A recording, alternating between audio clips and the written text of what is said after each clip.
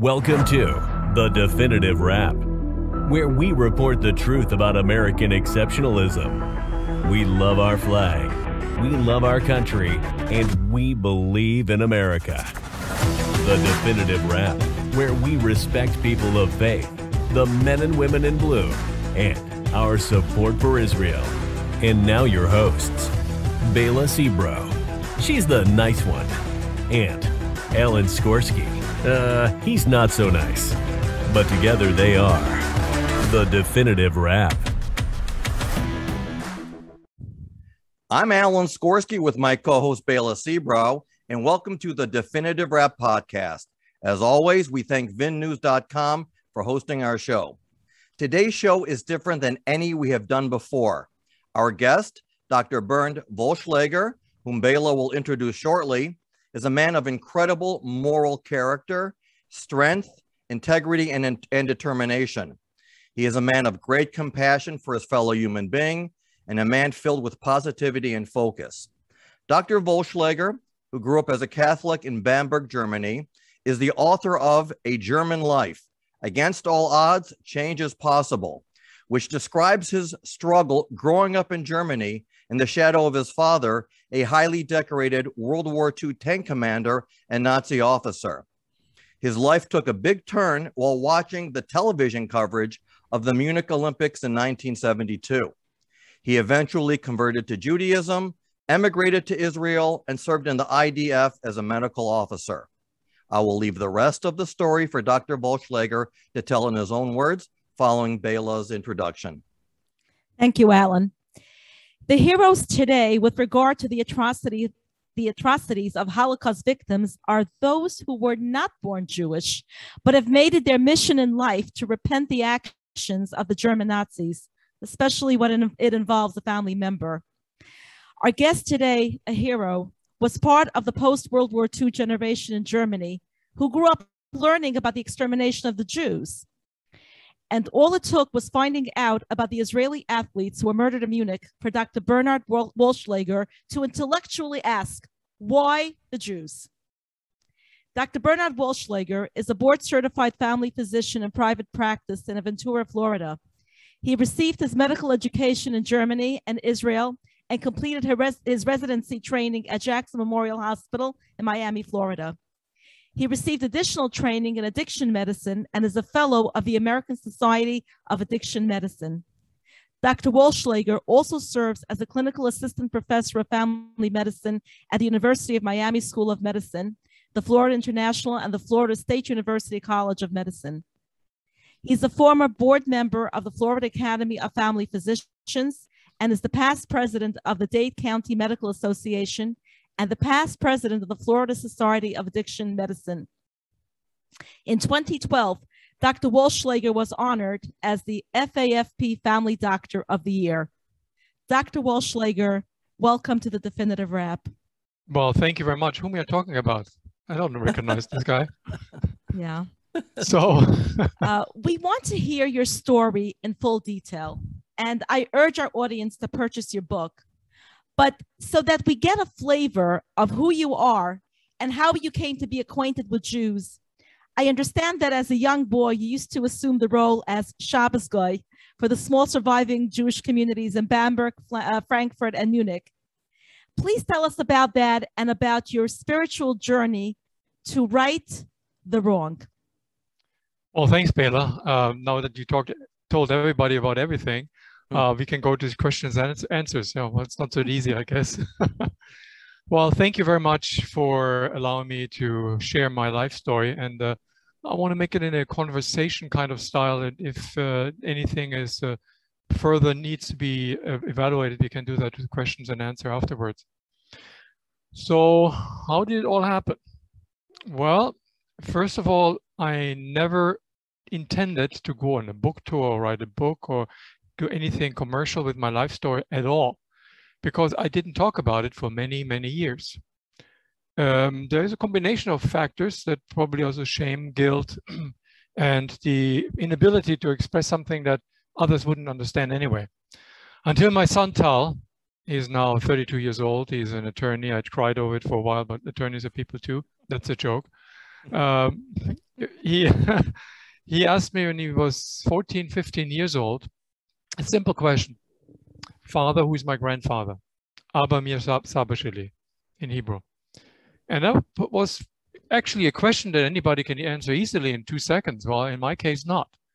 Because how can I explain a nice Jewish boy with a Jewish education in a conservative school, tefillin in the morning and keep uh, the whole nine yards? How can I explain to him that his father, yours truly, is Jewish, is an Israeli, and served in the Israel Defense Forces? And on the other hand, my father, his grandfather, was a highly decorated, high-ranking German tank commander and Nazi and National Socialist. So these worlds ob obviously do not reconcile, that, that took some effort.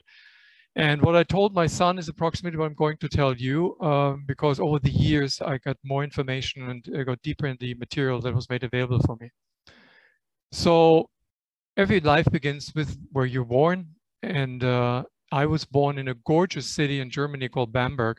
I'm not making advertisement uh, announcement for the Bamberg tourism industry. They could need it, but it's a thousand-year-old city untouched by any wars, nestled between Nuremberg and Würzburg in the north of Bavaria called Franconia, and is modeled after Rome.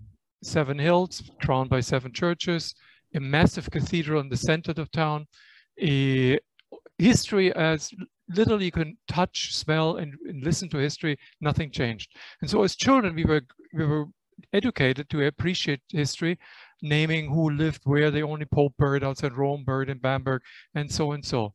But something as a little munchkin about eight, nine years old, I noticed there is something not kosher, not that I use that term.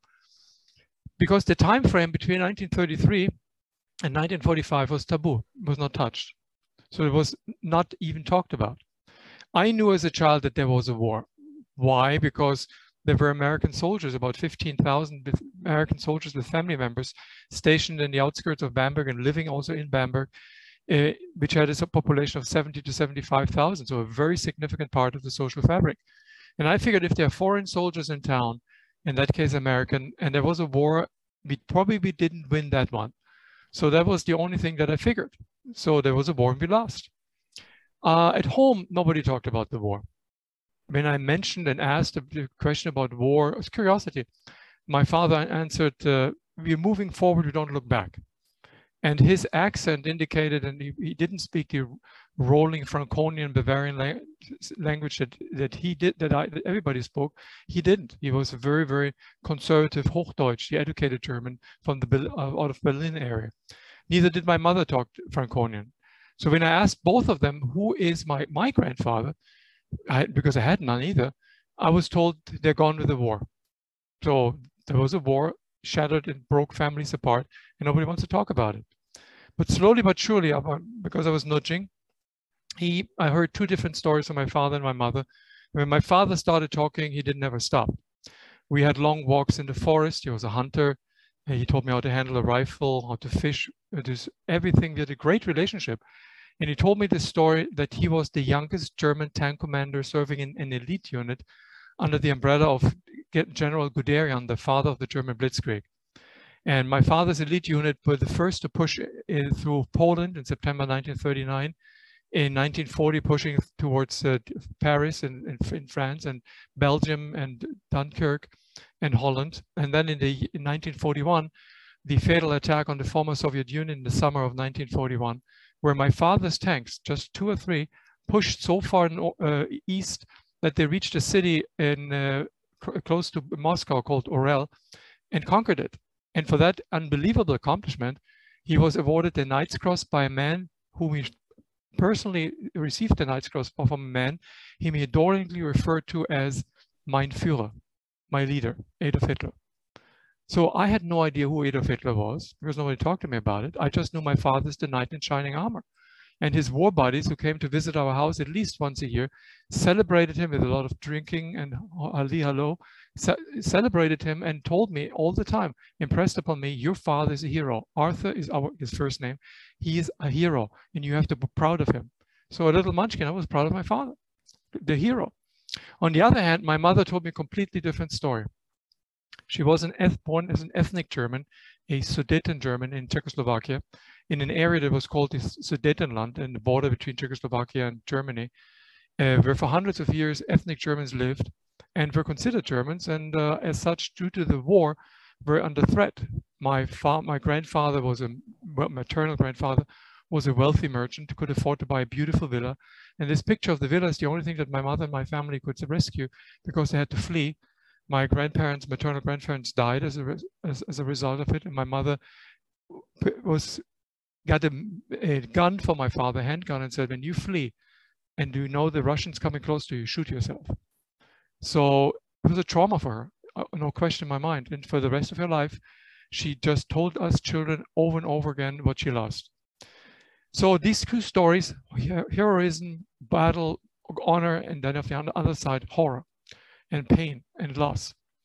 But there was something unique in the house that we were living in that connected to history. We lived in this massive 19th century style patrician, build, patrician style building in downtown Bamberg, which is still standing, by the way. The entire floor was occupied by the landlady, about a field or the size of a basketball field.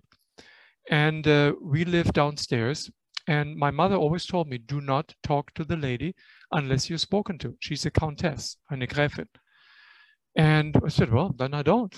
And uh, when in the hallway of our part of the building, right next to the door on the left side to our apartment, and right next to the right side of the wooden stairway leading up to the uh, apartment of the landlady, the, the Gräfin, uh, was a larger-than-life picture or painting mounted on the wall depicting an officer like my father, whose pictures I saw at home.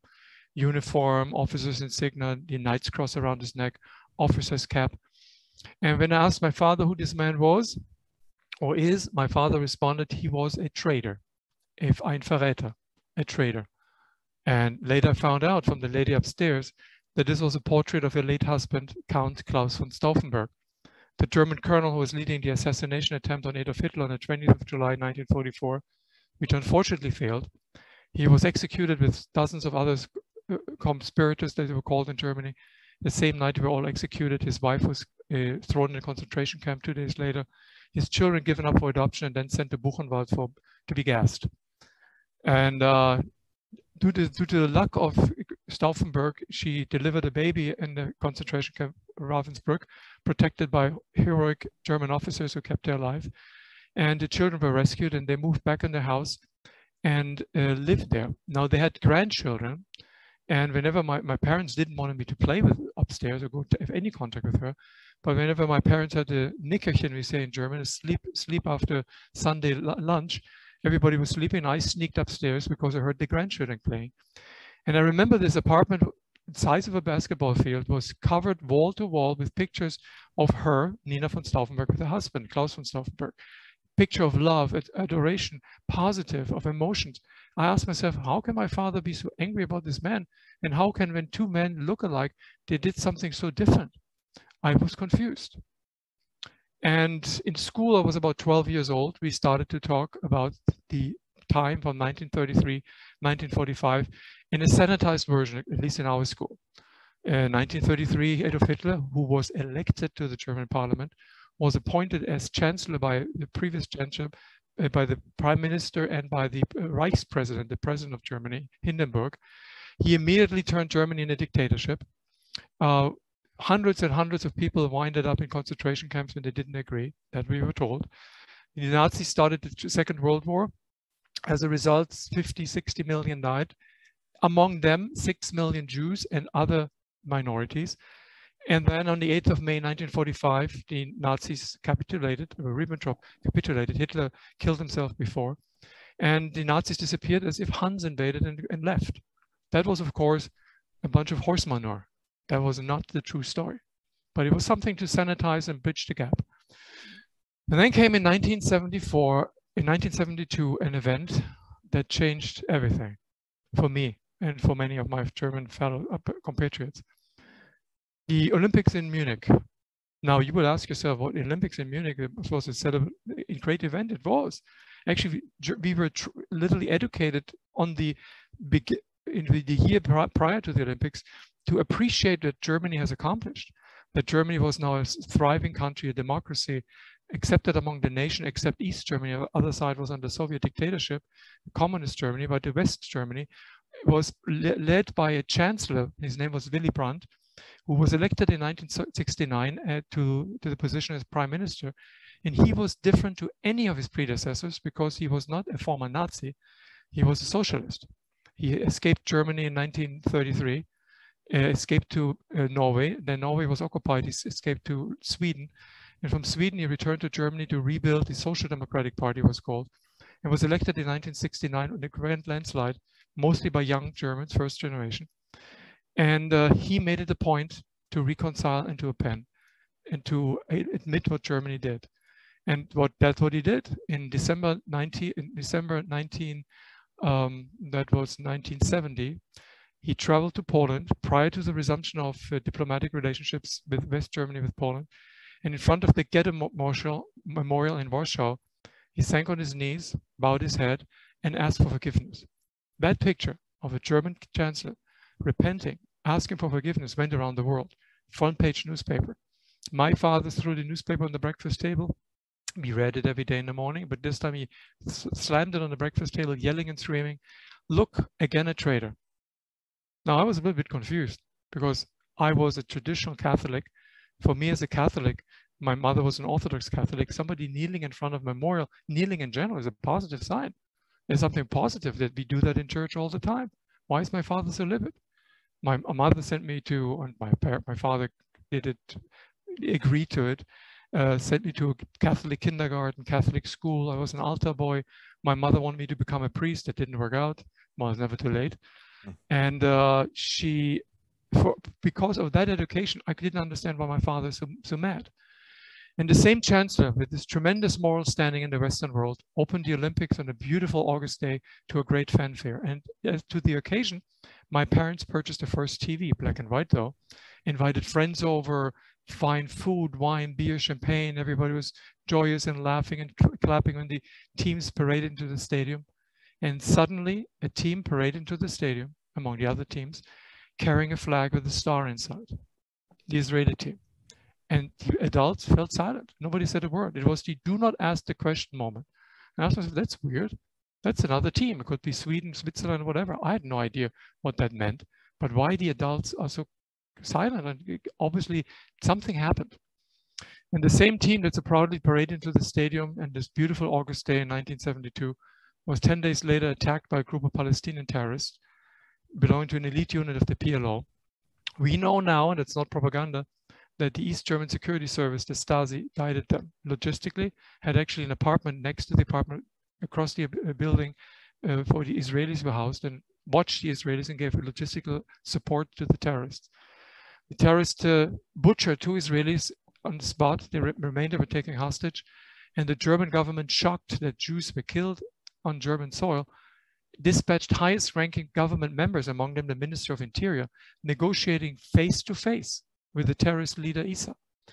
And the German uh, forum, the German Minister of Internal Affairs, he asked them, begged them, let, let take me and others as hostages, the whole government if necessary, but let the Israelis go. The Issa did not agree. He clearly articulated his demands that he wanted to be flown out with the Israelis uh, to a military airport outside Munich, and from there with a, with a German Boeing 707 to be flown to an Arab country of their choice to be revealed, and in a, and Israel has to relieve 270 release 270 to 280 prisoners in uh, Israeli prisons, mostly Palestinian terrorists, and that should be a great fanfare and should be accomplished probably in Cairo or Tripoli.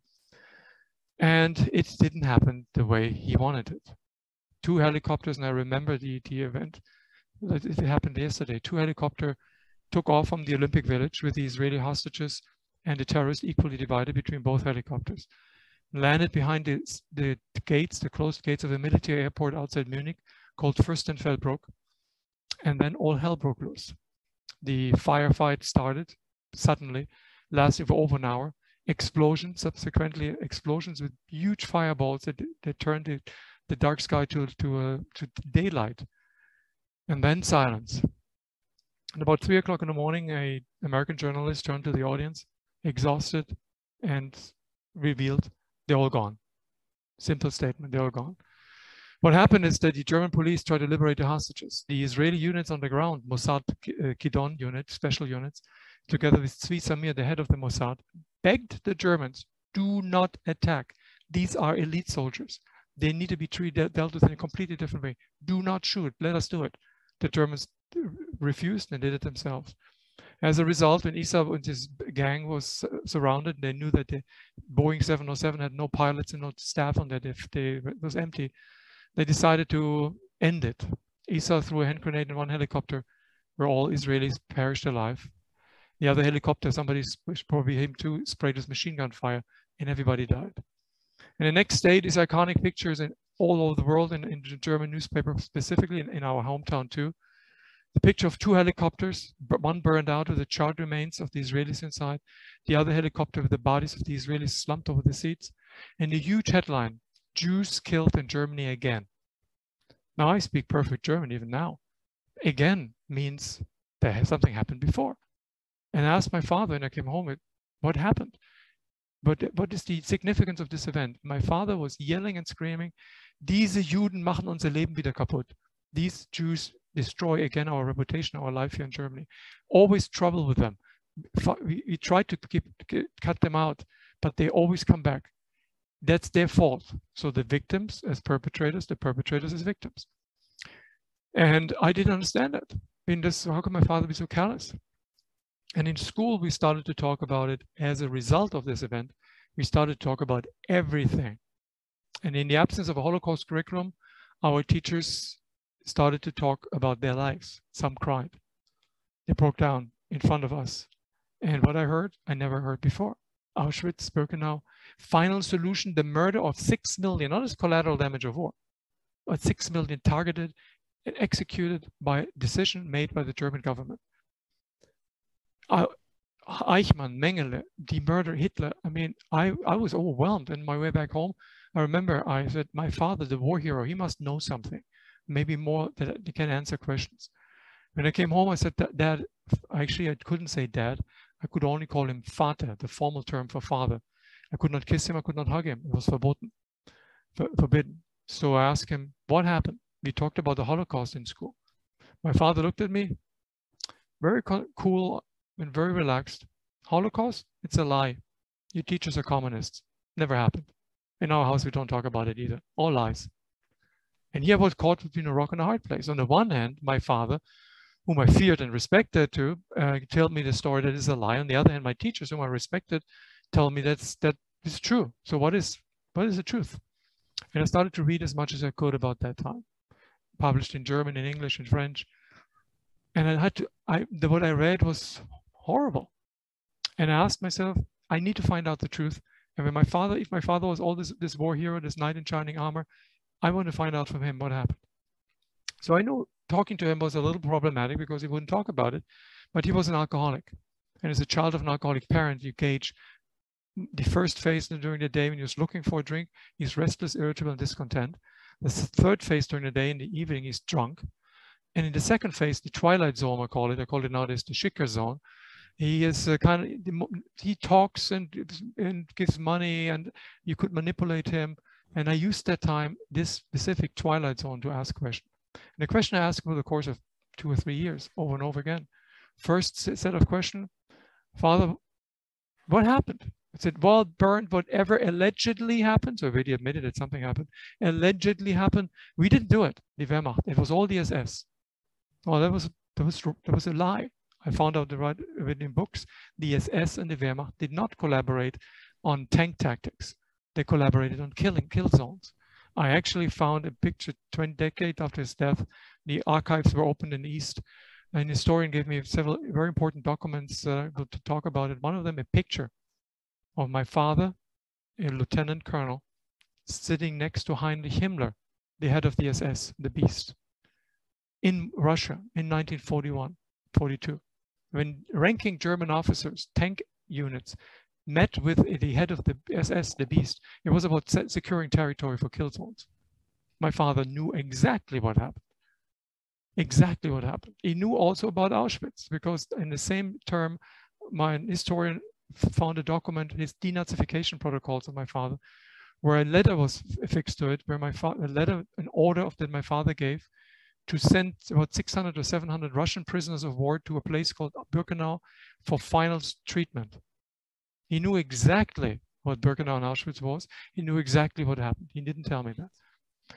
Then came the second set of answers, the questions that I asked. So what happened with the civilians that were killed? I didn't even touch the term Auschwitz. Well, civilians that were killed, they were not civilians, they were guerrillas, they were terrorists. They didn't fight in uniform, so they, according to the Geneva Convention, they cannot enjoy any protection. We killed them. Ask him rhetorically, you tell me that a million plus children were fighting the mightiest army in the world, the ragtag Jews, Jewish victims that were guided into the crematorium, they, they was attacking you? Nonsense. And then the last phase was one evening, he was completely blasted. And I asked him, tell me about the Holocaust. And he looked at me and said, you, your generation, you're soft. You're not hard. You're not battle trained. What we did for you to kill all the Jews, to get, not didn't use the term killing, to clean the, the schmutz, the dreck, the dirt off. We should get a Nobel Prize, a Peace Nobel Prize, to making the world a better place to live. You guys too weak. Now that was the last straw that broke the camel's back of trust that I had with my father. I could not look up to him as a hero. I looked down to him as a common criminal. I didn't talk to him anymore not much. And uh, I asked myself what happened. I need to find out. And, uh, and I asked a former teacher of mine, a Jesuit priest, actually was at that time still my teacher. I said, "What? How can I told him the story? What can I do?" I said, "Well, as a Catholic, you know, we need to make amends for those that were harmed, personally by us or, or, or because of us." And I said, "How can I make amends to people that I don't know? I don't know Jews. I never met a Jew. The only thing I heard about Jews is that they killed Jesus." and of course was wrong. And he said, well, I'm belonging to the progressive wing of the Catholic Church. We're inviting from Israel Jews and Arabs uh, to come to Germany. We pay the trip and they learn from each other by vacationing and, and celebrating the, the day of freedom together. And I will send you as a, I sponsor you as, as, a, as my candidate to be the German representative. And so I met young, young Jews. I was 19, they were 17, 18. It was before Google and Schmoogle. You actually had to talk to each other. And we had a good time together. And I must say, I liked the Israeli girls a heck of a lot.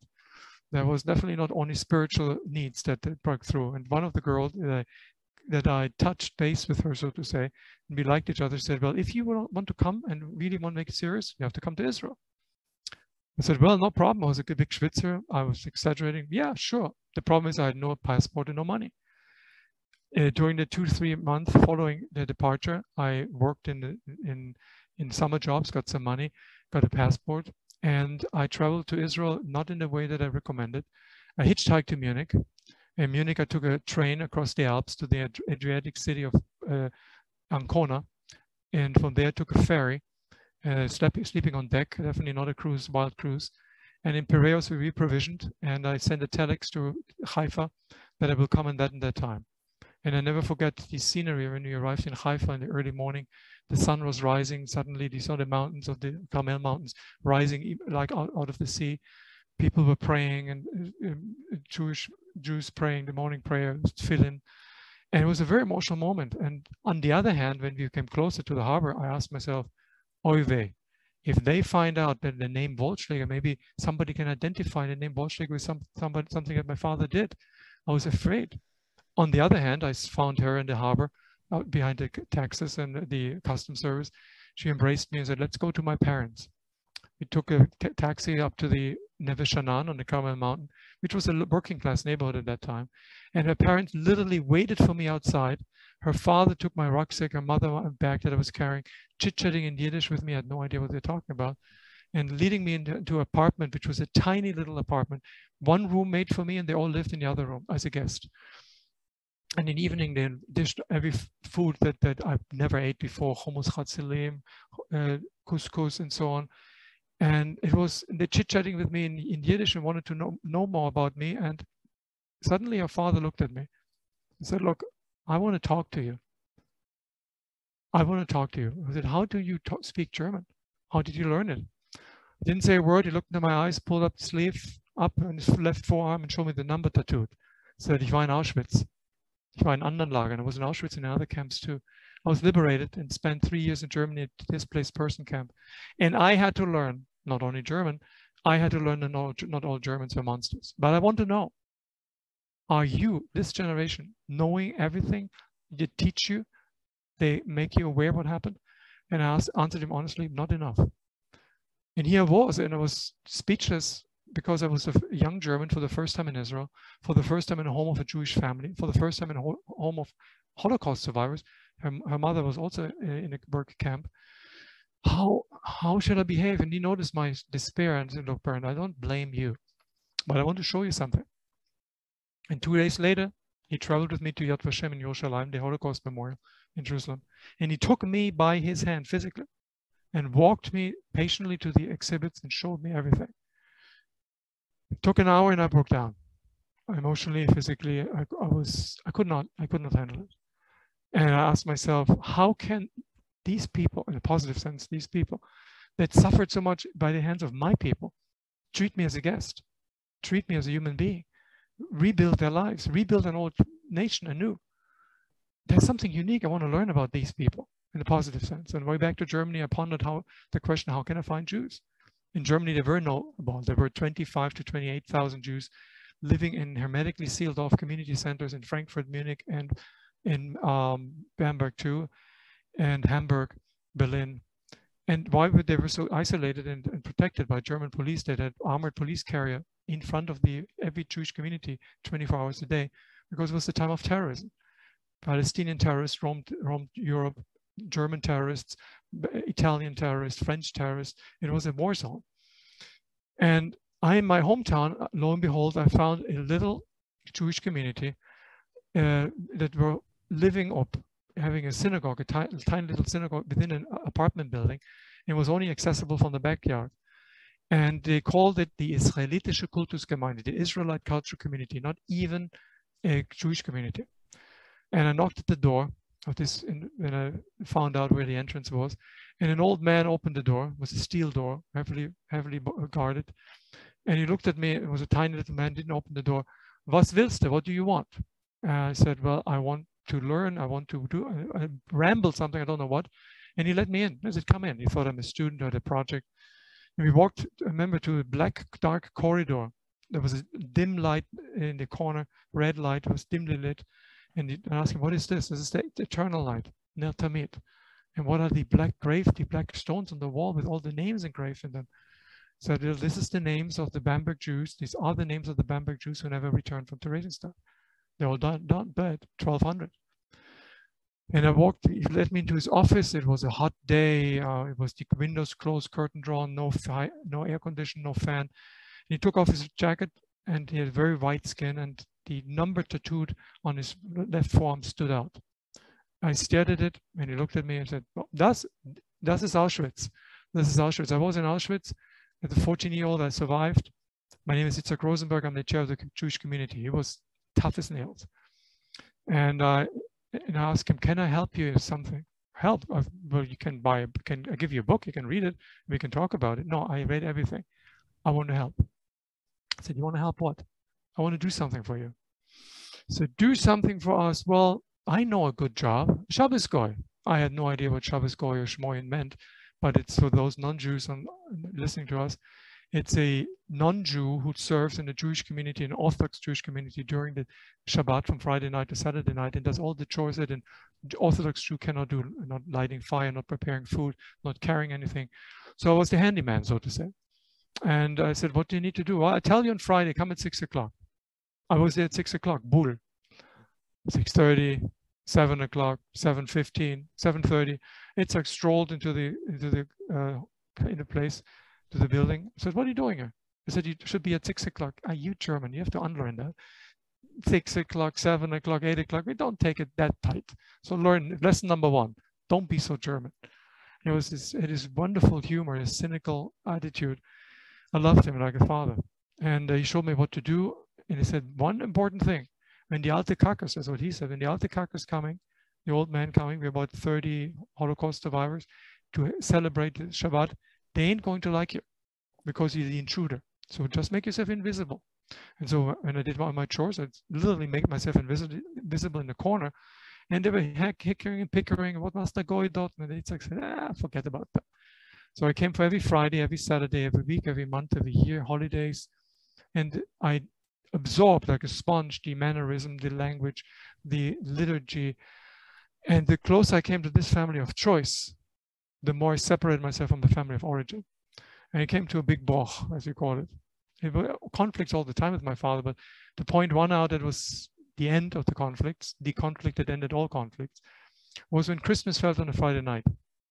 And Christmas in my mother's house as a Catholic was a big deal. I played like a like a film in my mind. We had to go to uh, the cathedral, the, the Christmas mass, and then coming home. My mother served us lentil soup and uh, carp, uh, which was symbolic food for Catholics in Germany. Then we were waiting for the bell to ring that my father decorating the Christmas tree in the big living room. And when he rang the bell, we could go in.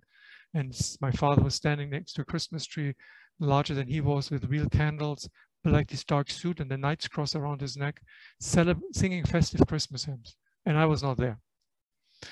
Well, needless to say, when I, when I came back from the from on Saturday evening, all hell broke loose. And I said, look, let's stop this Greek tragedy. I'm not going to sit at the same table with a man who has this bloodstained medal around his neck symbolizing murder. You're a murderer. You have no, you're celebrating the birth of Christ. You, how, how cynical is that? He looked at me and said, raus, get out. Well, it was a little problem. In Kesef, kind guilt, no money. I was in the second to last year medical school and I did pretty well with the scholarship, but I still had some extra expenses. And I never took money from the community, nor was it offered. And Itzhak must have noted that something is going on with me. He, he, knew me after this five years that I was already there. And he must have told others because suddenly one member of the Jewish community approached me who never ever approached me. His name was Aaron. And Aaron, we didn't know. Nobody in the community knew what happened to him, except, like Itzhak told me, he found out on the Red Cross that it was in Auschwitz and lost everything. And uh, Aaron looked at me, approached me, and said, "You bist der Goy." Um, for five years, yeah, very perceptive. Yeah, your name is Bernd. Dein Name is Bernd. Yeah, hör mal zu. Listen, deine Schuhe und deine Jacke sind schmutzig. Du neue Sachen. New shoes and jacket is dirty. Buy new stuff. Gave me 100 mark. Well, that was a lot of money, and it was not true. I was not schmutzig, dirty. And I walked to over to it, Itzhak's apartment uh, office and said, Aaron gave me a hundred mark. Aaron gave you a hundred mark. He never gives any penny. Did you ask him for 200? That would be the opportunity. I said, no. I said, come on, sit down. Let me explain you something. Many of us physically survived, but not mentally. I barely survived both. I married a German woman, non-Jewish, and she built up a beautiful uh, home for, of us. And she is wonderful, and I can finally found happiness. Aaron Nada, nothing. He's a black hole. Uh, he doesn't talk to anybody. But Aaron talked to me. And I knew later why, because he was going to die soon. And he told me a story that I just want to touch upon because it's too horrible. He was a member of a surviving men of a Sonderkommando. Sonderkommando in Auschwitz, when the Jews that guided the other Jews, the victims, into the gas chamber, he said, take off your clothes. Don't forget to take the number that is identified with the clothes, the number. So keep this plastic that when after the shower, we can give you the right clothing. Closing the doors, and then the SS food Zyklon B from the top. And he told me the crying and didn't stop for banging, didn't stop for at least 20 minutes. It was a horrible, horrible death. On the other side, you saw the Sonderkommando opened the doors, equipped with gas masks, pulling out the bodies, burning the burning, incinerating the bodies, crushing the bones, and throwing the remnants in the pits right next to the crematorium. And then for 90 days, these uh, Sonderkommando, they became food, they got food, wine, women, and then they were gas after 90 days. The next group came in, and Aaron survived.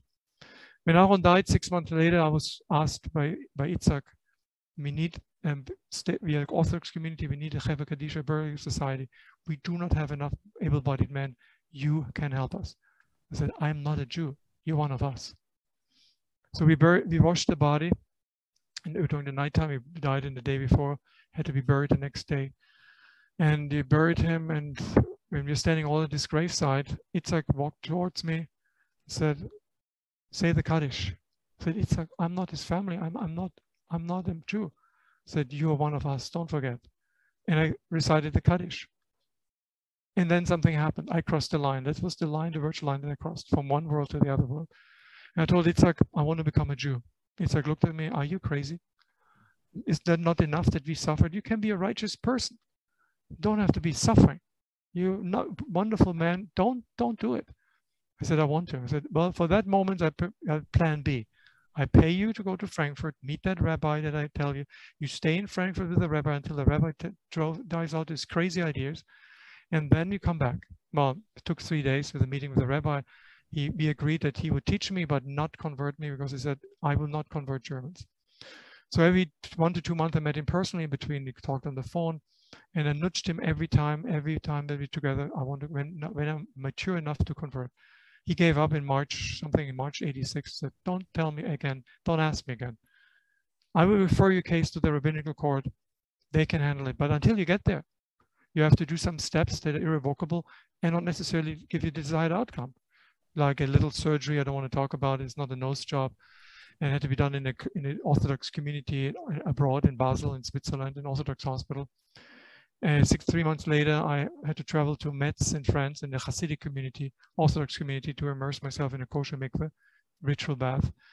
And then in December 1986, I just graduated from medical school the week before. I had a date with the rabbinical court, and I never forget that. It was like a court hearing. Black robes, a black hat, four rabbis sitting on the podium interrogating me, literally. And the chief rabbi after an hour said, look, let's stop everything. We know you know everything. We know you, you're a good boy. Why on earth is a German wants to become a Jew? I want to hear something that convinces me. And I convinced him. And uh, after a session that they had, I had to wait for an hour, they asked me to stand up and read the Theodat the conversion certificate in German and then in Hebrew and then in German. And it was a very, very emotional moment. And the rabbi, chief rabbi said, look, Bernd, your name is Ben Abraham, that you cannot change. But your first name you can change, you can choose. What is your name? I said, Bernd, do you know what it means? Something with a bear? Yeah, you're the bear slayer. Dov, Dubi, Dov Ben Abraham. Take it, it's free.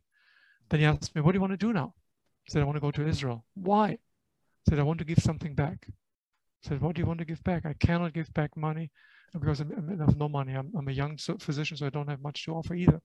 But I want to join the army and fight and give my life if necessary. And he said, this is a crazy idea. Well, I applied to the German, uh, to the Israeli embassy in Germany, in Bonn at that time, to the Jewish agency in Sochnut in Frankfurt, and within 30 days I was recognized according to the law of return. Yeah, but we had a shortage of immigrants because it went really fast. And on the 6th of January 1987, I took a one-way ticket from Frankfurt to Tel Aviv and left Germany forever. The night before, I said goodbye to Richard, uh, Itzhak, goodbye to others, friends of mine.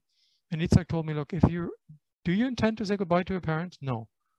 Do you know that the Jew, now that you bought the whole package, has to honor his parents regardless who they are?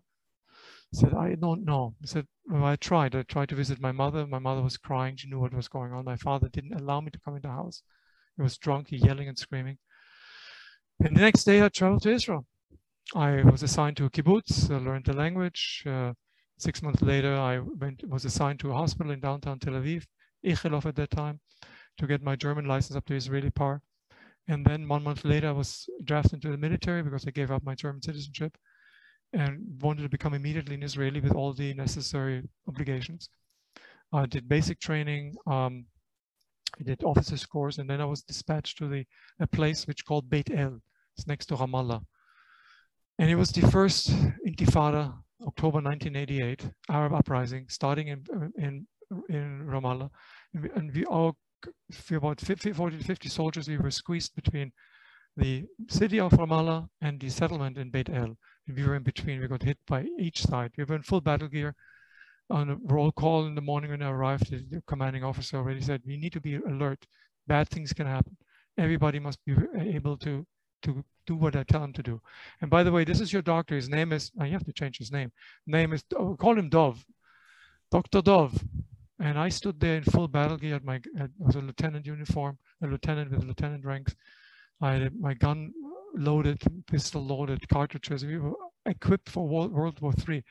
And I asked myself, if they find out that I'm a Nazi, son of a Nazi in drag, I mean, they will kick me out of it. I cannot, how, who can believe this story? And I decided not to talk about it. Well, of course, a huge, huge problem. I literally threw my life in a virtual closet, slammed the door shut, and turned the key in the lock and tried to throw the key away. And for all those who not want to know about me, I told them the truth. I was, I'm from Germany. My name is Bernd Odov. I made Aliyah. I'm in the army, and that's it. Well, these other details I omitted.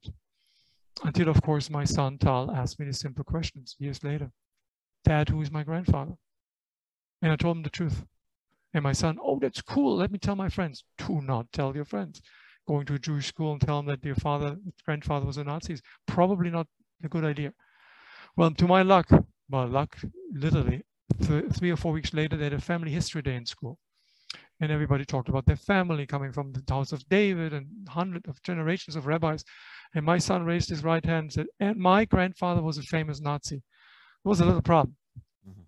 And I got called to the school. And the, the principal said, look, uh, Dr. Wollschlaeger, you're a respected member of our community. Your son told us a verdrehte Geschichte that your father was a Nazi. I mean, what drugs does he smoke? And my son doesn't smoke any drug. I needed to get him out of the hotline. It was me. I told him the story of our family. And the rabbi who joined us, are you sure that this is that you don't want to talk about it? Yeah, you will. Come with me. It's good for the neshama, good for the soul. And so for the first time in school, I talked about my life and something happened that the rabbi predicted. The weight was lifted off my shoulders. And I asked myself the, the question, why did I never close the circle of life? I have to continue living by making closure in of this part of my life, which is still open. So my son and I, we traveled to Germany in the winter of 2003. I uh, visited my parents in the place and knew that, that they were residing, the graveyard, both were dead. And ironically, and that is not atypical for Jewish communities in the in the 19th, 18th century in Germany and Bavaria, they were living together with non-Jews on the countryside, and they're burying their dead on the same uh, in the same graveyard, divided by a wall. And so my parents' grave is one row parallel to the wall, separating the Jewish from the Christian cemetery. With, and you see Jewish gravestones almost defiantly casting the shadow to the other side. And I told my son, this, this is your grandparents' grave. I don't know what to tell you, but they still in death even are in, residing in the shadow of history. They never stepped out of the shadow. I stepped out, looked back, and made a commitment as a young German. I will make everything happen that it will never happen again. We cannot let that happen again. And as such attitude I'm, I have, I share my story, not because I'm a cool guy. I have enough ego left without it but to tell people one person can make a difference if this one person is committed to make a difference. Don't judge any person from any ethnic or religious group for what the entire group has done. Find out how you can create relationship with the individuals. Because as individuals, we are a lot the same. We don't belong to tribes. We belong to the human mankind and womankind, so to say. And we need to learn to talk to each other. Take the cotton out of your ears and put it in your mouth and listen to each other. This is my message. And of course, I also got the message that my father and Bobby never wanted to share with me that hatred is not this dark matter of the universe that we uh, that we cannot explore. No, hatred is something that we create by words, using words of hatred. And if these words of hatred left unchallenged, they fall on the fertile ground on the mind of others, sprouting into deeds. And if these deeds prevail, habits will form. If you don't counter the habits, then a convention, then char characters will arise and will th thrive on this on this hate speech. And if these char characters prevail, they will set social norms, and these social norms make it normal that you can kill other people, harm other people. The Germans killed knew for them it was okay to kill Jews. They knew everybody knew what happened to the Jews, but the norms that were created from a simple word to the horrendous uh, what happened later, that was a single word that of hatred, which made its way to, to, towards the history we have to stop hating each other. It's very easy to hate each other, to demonize somebody. First, we de-individualize them, Abraham and Sarah. Then we get, Jews don't have a, a name. Then we depersonalize them. These are not human beings. And then demonize them, ready to kill them. That we have to stop. We have a world with enough conflict and we have enough time, hopefully time left to enjoy our lives. And even when we preserve our, stand up to our opinions, that's okay but listen to others too. That's the message that I send. And as the last sentence, what I tell people, against all odds, change is possible. So make it make it happen. Right, Dr. Wollschlaeger, so. I will I will say this. Um, we have lots of fantastic guests on this show. Um, and I'm not saying this to be a gushing person, but you are, you know, my new greatest hero. So I have a I have a kind of question Okay. comment, and this is something that Yitzhak Rosenberg asked you. You know, they say that God doesn't give a person more than they can handle, but it seems like God dumped a hundred lives on you to overcome so many things in your life. So moving past, once you decide that you want to find more about Jews, first you said, I'm going to go to Israel. Well, you could have ended it right there because instead of hopping on a plane, took you four days to get there, going from this train to that train to, to, to uh, hitchhiking to a ferry. And then you come back and then you, meet- you meet with this, these Jews and then you're a Shabbos guy. And, and every step along the way, you could have said, you know what? I like these people. I want to remain friends with them. And I understand from what you just said in reading your book that when you said the Kaddish, that was like the turning point for you. But before you got there, there were so many hurdles in your way that you could have said, you know what? I love the Jewish people. I'm sorry what the, the Germans did, but I'm going to be a good guy and I'm always going to be friends with the Jews. Why did you keep going? because I felt a deep rooted commitment that I have to do something.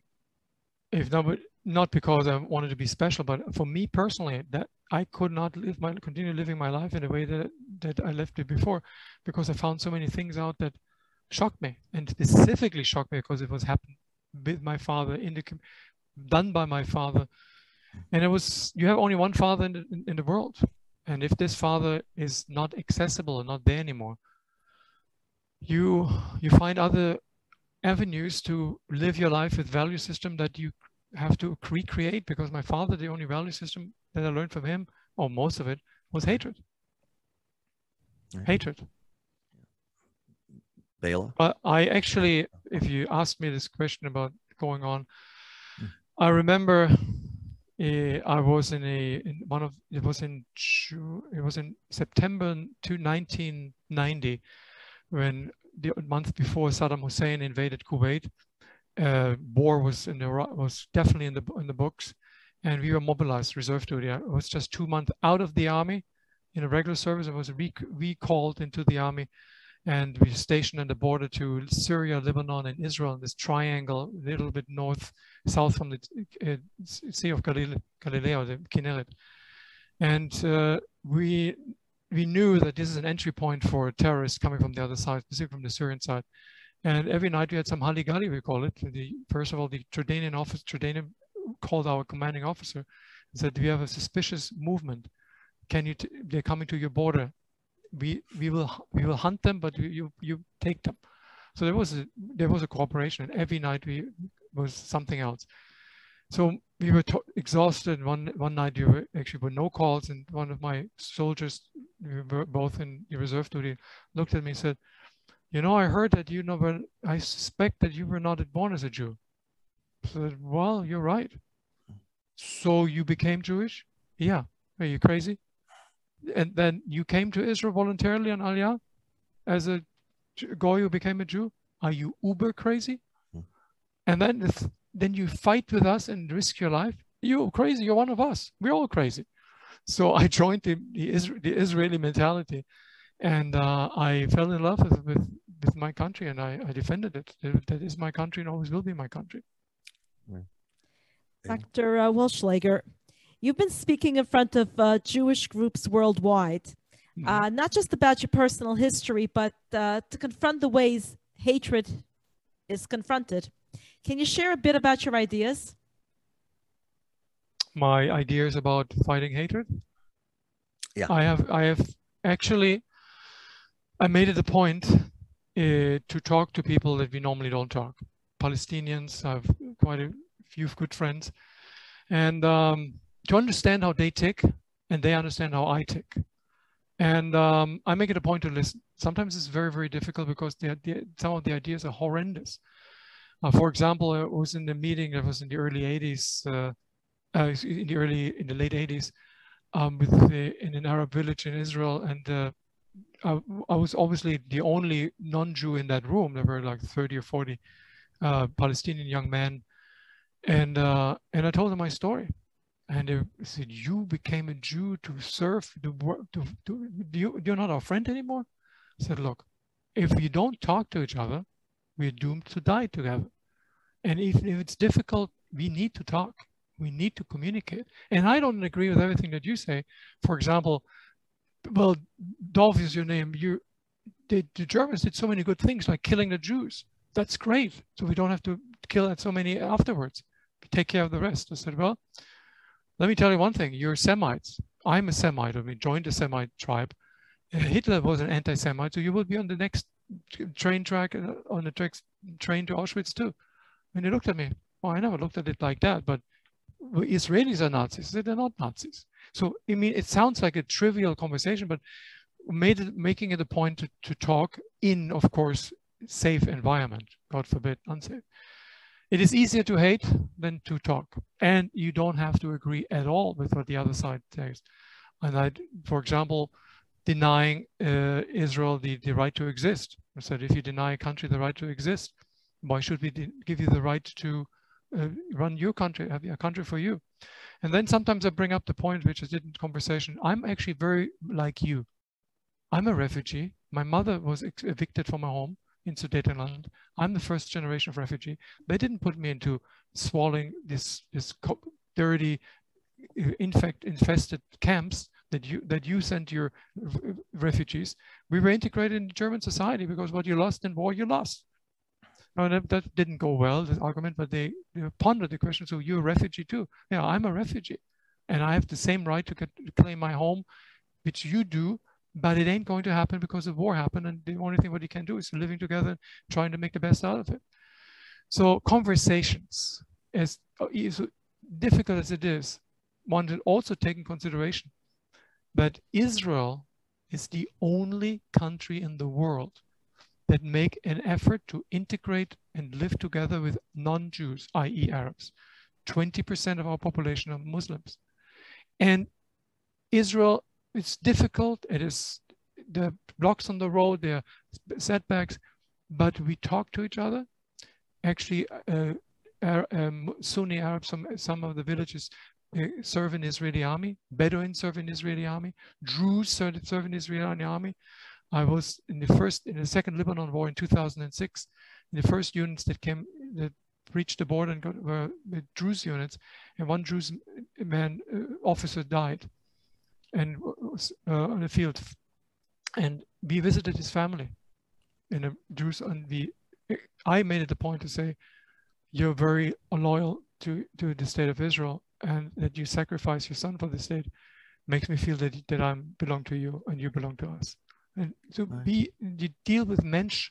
Of course, there's also the dark side, but um, make a long, short answer, a long winding answer, short question, long winding answer. Talk to each other. Right. Try. Dr. Volschlag, I want to go back to when you were younger and you make your first trip to Israel. And so again, I know you went, you were on a journey, a spiritual journey, and you also you spent time with Vered's family, the family that uh, the Jewish family that you fell in love with, and then you went and met with your friend Khalid, uh, who was in Ramallah, and you spoke about how his family also took you and embraced you. You went to the Kotel and you met a Kabbalist on your way out, who uh, you know grabbed you and spoke to you about your neshama, and then you go back home to Germany can you tell me how did you process everything that I mean you, you did in, in four or five days what people don't do in a month? So how did you process um, all that when you got back home? Well, I'm always a curious and I will always be a curious person. That's number one. And I always ask question why. And until I get the answer, I, I have to find the answer myself. So I'm driven, not necessarily because that I'm manic, but I'm driven by the truth. And off, obviously I'm also driven to clean my soul from what being my father's son, because my father was a murderer. That was clear, clear cut. I actually, just about two years ago, and I was two and a half, three years ago, and I was in Bamberg giving lectures. A the military historian that worked with me showed up at one of the lectures and brought me him a, a attaché suitcase, this metal attaché suitcase, and he said, "This is for you." I said, "What is a bomb?" I said, "No, it's not a bomb." Mm-hmm. And we opened the attaché suitcase and inside were ripped pieces of Torah scrolls wrapped in newspaper. I said, what is that? Well, Bernd, this is when your father's late tank mechanic died in in uh, in Germany just a few years ago. His family wanted the son of the commander, me, to have this. And I said, what does it mean? I said, well, when your father's units marauded the countryside and killed people, and then specifically in Jewish villages, in Jewish city, small villages, they burned down the synagogue. But before that, they took out the Torah scrolls, soaked them in water. This parchment, uh, congested very well, was soaked with water, was a perfect isolating material, insulating material for German tanks in a cold Russian winter. So my father not only flagrantly violated all rules of war, he also knew exactly what happened and what is doing. He, my father was directly and indirectly involved. And until I find my, my peace, I and I found it, I'm moving forward to find the truth. Okay. Bela, you, know, you have another question? One one last question. Uh, mm-hmm. Dr. Wollschlaeger, um, has your mission had any impact on your career as a doctor? Yes and no. Actually, I became a doctor because, well, to be very honest, I wanted to be independent. That was one point. I knew that uh, I wanted to have a profession that allows me to practice literally everywhere if, if licensed.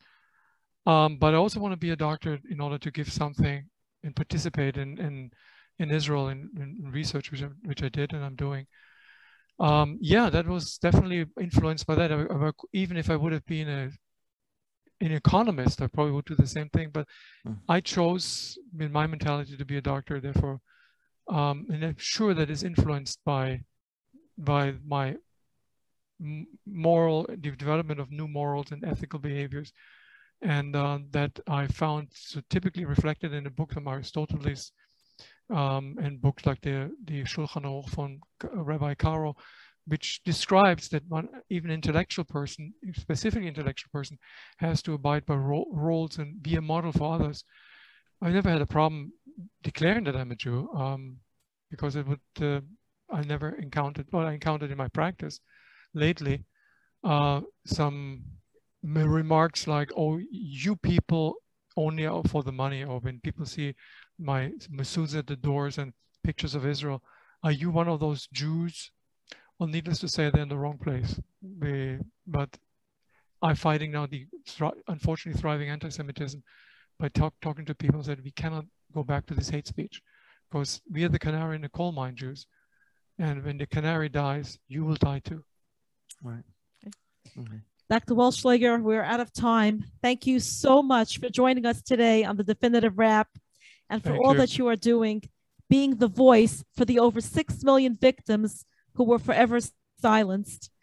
Thank you to our audience for tuning in, and I urge everyone to buy the book, A German Life Against All Odds Change is Possible. Thank you to vinnews.com for hosting our show. Thank you very much. Thank Appreciate you. it.